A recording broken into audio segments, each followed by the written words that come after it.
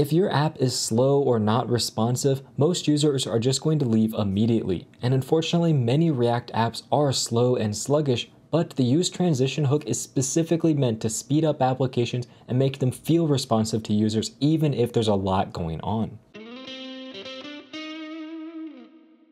Welcome back to Web Dev Simplified. My name is Kyle and my job is to simplify the web for you so you can start building your dream project sooner. And today we're going to be talking all about the use transition hook. Now first I want to talk about when it's going to be useful before I show you how to use it because it's really important to know when you should use it and when you shouldn't use it. So let's look at this simple React application we have. We have two pieces of state. We have an input, which is just our text input right down here. That's on the right hand side of our screen. We also have a list variable, which has a default size of 20,000 elements.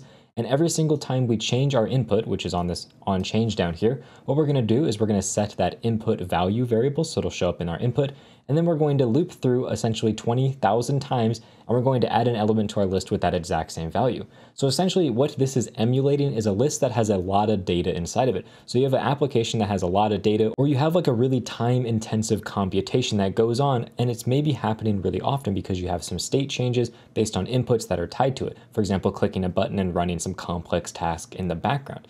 Well, right now, if we run this application and I try to type information on the right, you're going to notice it's very sluggish. At this moment right now, I pressed the F key, and you can see it took a long time for that to show up on the screen. Again, I'm going to press the D key, and you can see there was like a second pause before it actually rendered onto the screen and showed up on my list. And if I was just trying to type, like right now I'm just typing random stuff, you can see that it's not showing up at all on the screen and it's taking a huge amount of time for it to show up. I mean, it's still not on the screen and I typed out a bunch of information. So this is clearly a very slow and sluggish application and we need to fix that problem. Now, in order to actually fix this issue, we need to first understand what is going on. So the way React works is when you make a state change, for example, I call set input or I call set list, what it's going to do is it's going to try to combine together all the different state changes we make into one call, and then it's going to make them all at once before re-render in our application. So in our example, it's going to combine together our set input and our set list. And because our set list takes so long, because it has to go through this massive for loop and add a bunch of elements to the for loop, and then render out all those elements to the screen, rendering out the change for my set input and my set list is very slow. Instead, what I would like to do is make it so that the set input has a higher priority. It runs ahead of time, and then my set list, which is slow, is going to run at a later time because it has a much lower priority that we don't care as much about. That's what use transition allows us to do. It allows us to make two different state changes at the same time and rank them in order of how important we want them to be, whether we want it to be a high priority item such as user interface stuff like setting the value in the input when the user types, or if it should be low priority such as just setting this list value, which is not as important as the input being rendered out exactly as the user types. So let's import that hook and see exactly how it works. We have our use transition hook, and also with the use transition hook, there's this start transition function that you can use. If you're in like a class component, for example, you would use this start transition function. But if you're in a functional component where you can use hooks, then you want to use use transition. And this use transition is, when we call it, going to give us an array of values back. So we can just say use transition, and this array of variables has two different values inside of it. The first value we're going to get back is is pending. This is going to be true or false depending on if the data is currently being rendered. And then we have that start transition function. This is the same function that we get if we import start transition up here. But if you again have the access to hooks, use the use transition hook because you also get this is pending variable as well.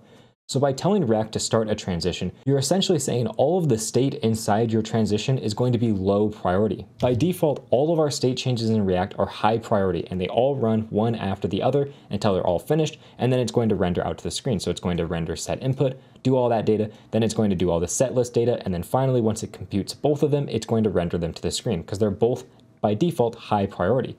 What we want to do is we want to wrap all this information for our list inside of a transition that says, hey, this is a low priority piece of information, and we want to only render it out if we have time. We want to make sure that this input, though, renders out immediately. So to use start transition, we just call this and we pass it a function.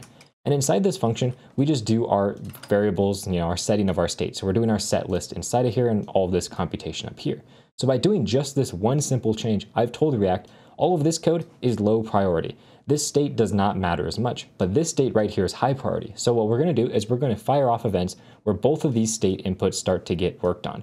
And as soon as my high priority stuff is done, which in my case is this input, it's going to render to the screen that data.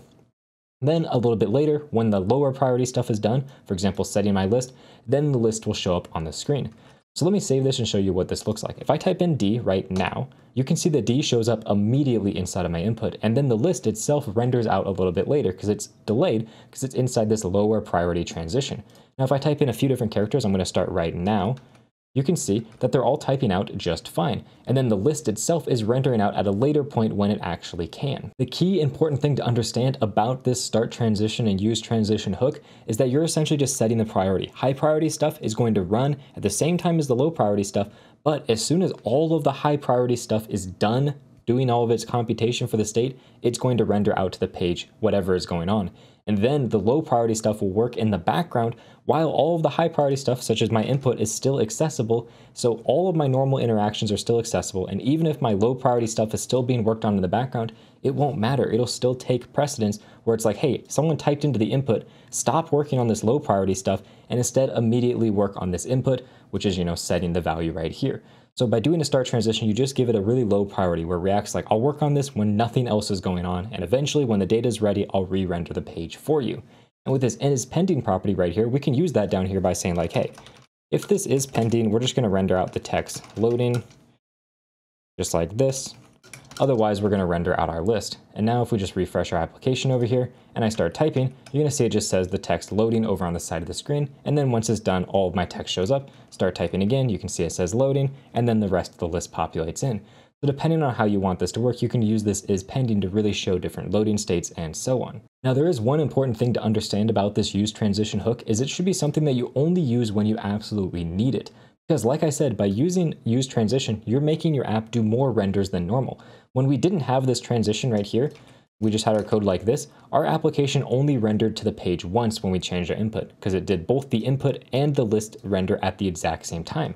While when we did our transition like this, our application did two separate renders, one when our input changed and one where our list changed. So if you wrap everything inside of their own individual start transitions, now your application is going to be doing a ton of re-renders when in reality, if they're small changes that can all happen at once, it would be much better to let them all happen at the exact same time to limit the number of times your application actually needs to re-render. I would recommend only using this hook for use transition when you're specifically running into performance related issues where you have code that is slowing down your application or has the potential to slow down your application.